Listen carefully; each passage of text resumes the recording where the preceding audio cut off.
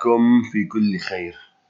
اليوم أعزائي الطلبة سوف نبدأ بشرح الدرس الرابع عشر وهو درس الفراشة والنحلة. في البداية سوف نستمع إلى هذه الأغنية أغنية الحروف الأبجدية. نستمع جيدا إلى أغنية الحروف الأبجدية.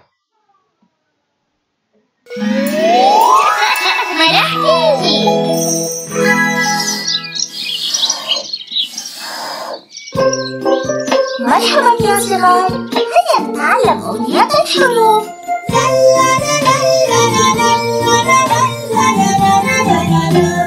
ألف باء تاء ثاء جيم حاء خاء دال ذال راء زين سين شين صاد ضاد ضاء ظاء عين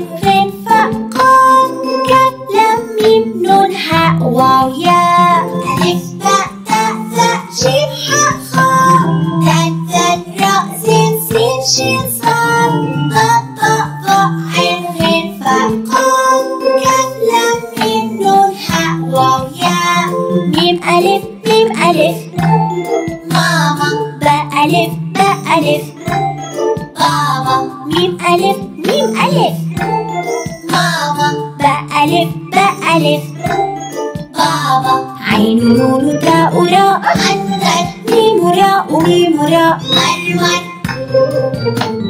ألف باء تاء ثاء جيم حاء خاء دال ذال راء زين سين شين صاد ضاد ضاء ظاء عين غين فاء قاف كاف لام ميم نون هاء واو ياء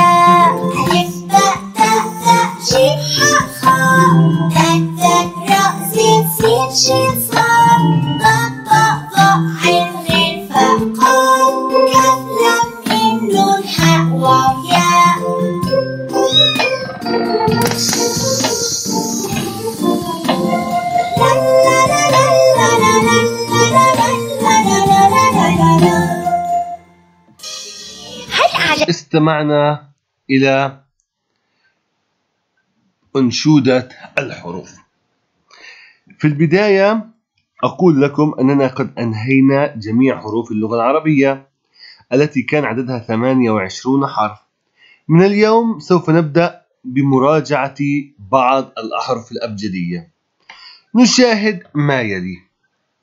هنا حرف الباء تاء ثاء جيم حاء خاء.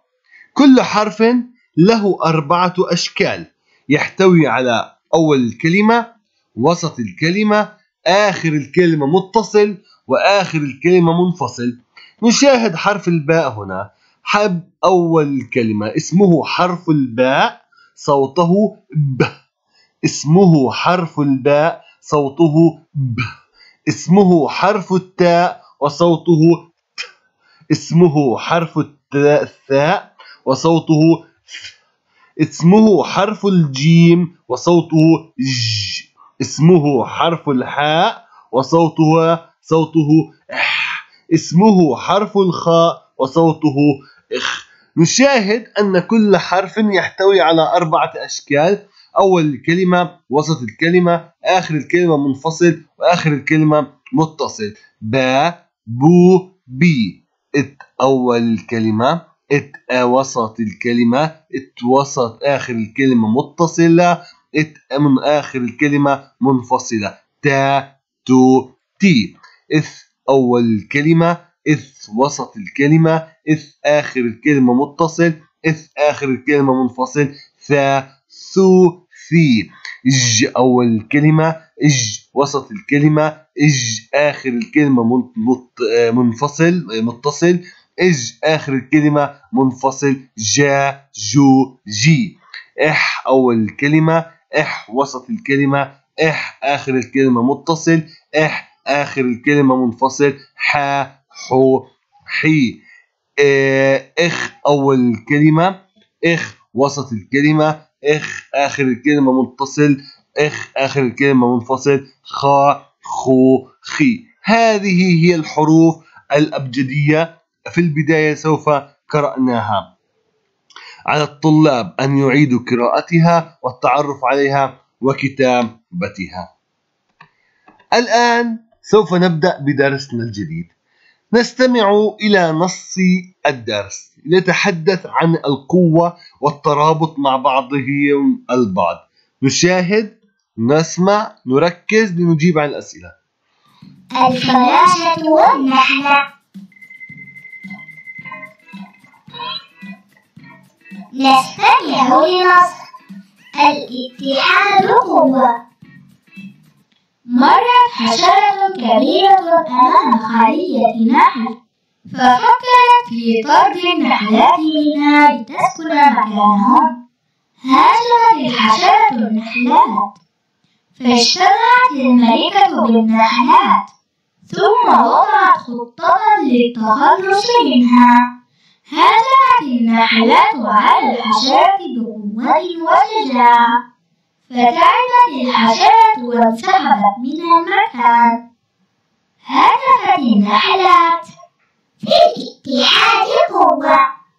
في البداية استمعنا إلى نص الدرس في الاتحاد قوة. وضعت نجيب عن الأسئلة التالية ماذا نستفيد من النحل؟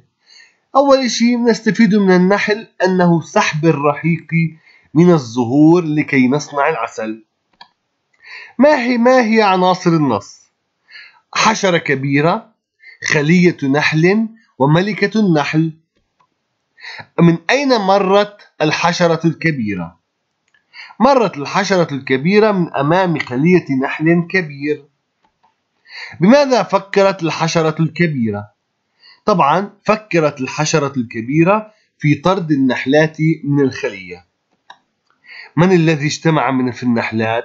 طبعا اللي بيجتمع في النحلات مين يا حلوين يا أطفال الحلوين هم اجتمعوا ملكة النحل المسؤولة عنهم ماذا استعملت النحلات في حل مشكلتهم؟ استعملوا العقل والتفكير الجيد والتخطيط أيضا. ماذا فعلت النحلات؟ هاجمت النحلات الحشرة الكبيرة. ماذا هدفت النحلات؟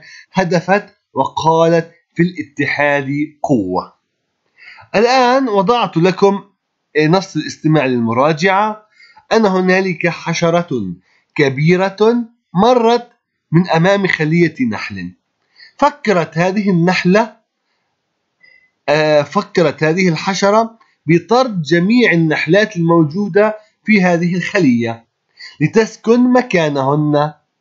هاجمت الحشرة النحلات اجتمعت الملكة بالنحلات ثم وضعت خطة للتخلص منها.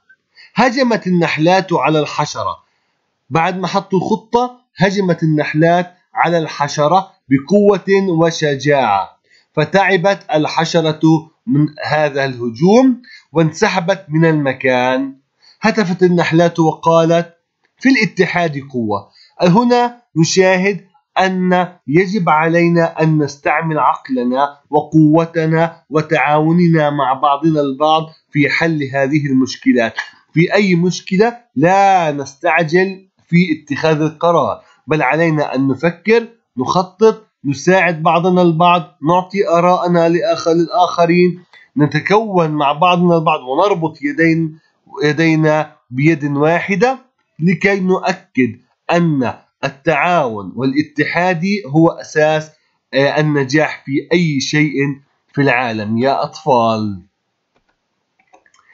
نعبر عن لوحات المحادثة.